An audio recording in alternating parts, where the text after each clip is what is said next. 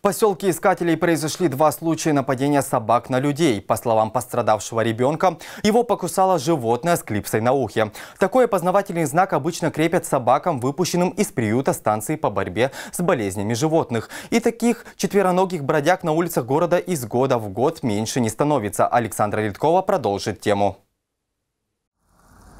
Моя собака не кусается. Так чаще всего говорят хозяева про своих питомцев, когда отпускают их на самовыгул. Про намордники, естественно, никто и не вспоминает. Потому что очень много в поселке животных, и я считаю, что это ответственность людей. Я никак не хочу сказать, что это животные, понимаете?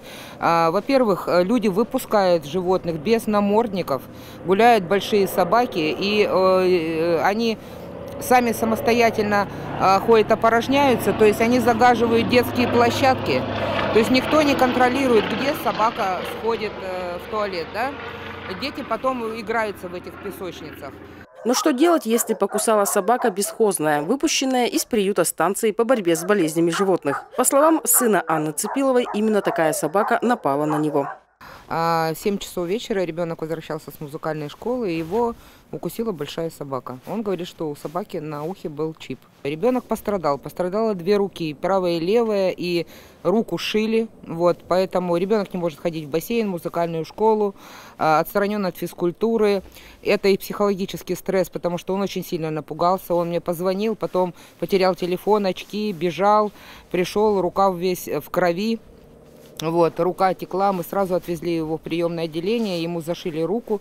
Теперь ребенку до декабря месяца будут делать прививки. Женщина уверена в том, что на улицах то и дело встречаются собаки, виноваты безответственные хозяева. Для таких людей просто необходимо вводить крупные штрафы за самовыгул. В случае с Татьяной Николаевич обошлось без физических травм, но от той прогулки женщина не может отойти уже несколько дней. А еду на самокате, электрический самокат ну, низенький такой. Поворачиваю голову, оттуда несется свора собак, вот штук пять, наверное. Видела только первых двух, черный и бежевый такой, потому что они вот так рядом со мной бежали вот тут вот. Как я от них удрала, я вообще не знаю. Выехала уже, бежали до самой дороги, они еще по дороге за мной бежали. Я остановились, выехала на дорогу, уже полдороги. Проехала, смотрю, отстали, остановилась, руки погреть, ну, замерзла уже вся. руки замерзли. Поворачиваюсь, они так и стоят на дороге. Были это собаки из приюта или же хозяйские, Татьяна не знает. В обоих случаях граждане не обращались в соответствующие органы. В мой адрес поступило две жалобы от жителей поселка Искателей о нападении собак на человека.